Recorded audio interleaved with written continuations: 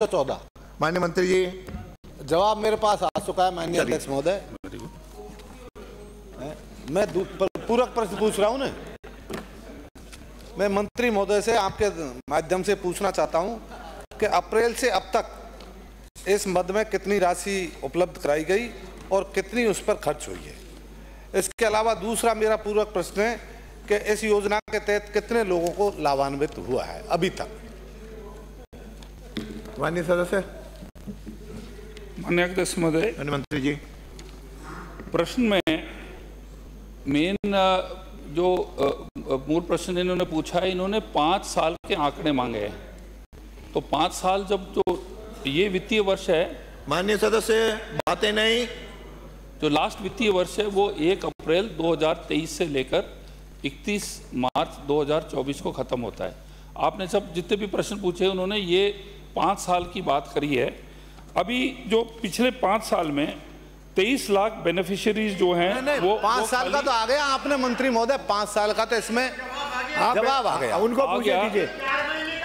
चार हरिमोहन जी माननीय सदस्य माननीय सदस्य आपके पूर्व पूछ रहे हैं उनको पूछने दीजिए। नहीं मान्य माननीय अध्यक्ष महोदय पाँच साल का जवाब आ गया और हमारी पूर्ववर्ती सरकार ने जितना बजट दिया वो पूरा खर्च हो गया। इसके लिए तो बहुत बहुत धन्यवाद।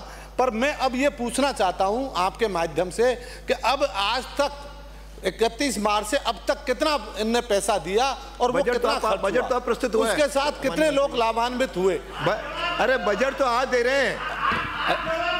आप बैठिए।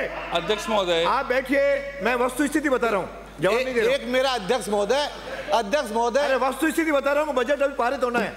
एक अध्यक्ष महोदय मेरा आपके माध्यम से निवेदन है बजट। हॉस्पिटलों में रेबिज की दवा नहीं है स्नेक वाइट की इंजेक्शन नहीं है। हम कई महीने से लगातार सीओ मैचों से उच्च अधिकारियों से बात कर रहे हैं। आज तक वहाँ दवा उपलब्ध नहीं कराई गई है। तो इस मामले में भी मैं मंत्री महोदय से पूछना चाहूँगा कि ये दवाइयाँ कब कब कब तक उपलब्ध हो जाएगी? इसके साथ साथ हमारी जो चिरंजीवी योजना थी वो बंद की है तो उसके भी लोगों पे भारी असर है। लोग दर दर की ठोकरें खा रहे है। अस्पतालों में दवाइयाँ नहीं मिल रही है। जनता को पुराने। परेशानी का सामना करना पड़ रहा है। तो मैं मंत्री महोदय से पूछना चाहता हूँ कि ये कब तक आप करा दें हाँ माननीय मंत्री जी। माननीय अध्यक्ष महोदय जो प्रश्न के अंदर पाँच साल का पूछा था अब ये कहते हैं कि भाई उत्तर सुनिए। आप कहते हैं कि मई में कितना खर्च हुआ था। तो ये जो तीन महीने का चार महीने का कह रहे हैं ये आपको सूचना आज भेज दी जाएगी।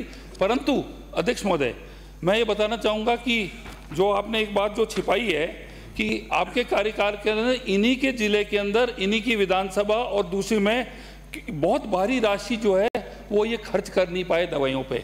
इसके अंदर जो है, करौली विधानसभा के अंदर तेरह लाख वो पैसा बच गया। यहाँ पर आपके, इनके सपोर्टरा के अंदर लगभग एक करोड़, टोडा भीम के अंदर एक करोड़ बीस हज़ार।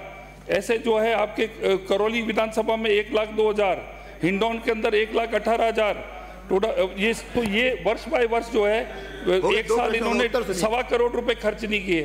तो इसका आपकी जो सूचना जो तीन महीने की मैं आपको आज ही दे दूँगा मैं श्री मनोज कुमार। इसमें तो जवाब आया आपने ज़ीरो ज़ीरो बताया। श्री मनोज कुमार। अध्यक्ष जी अध्यक्ष महोदय संख्या एक 115 पंद्रह। ये ये गंभीर प्रश्न है।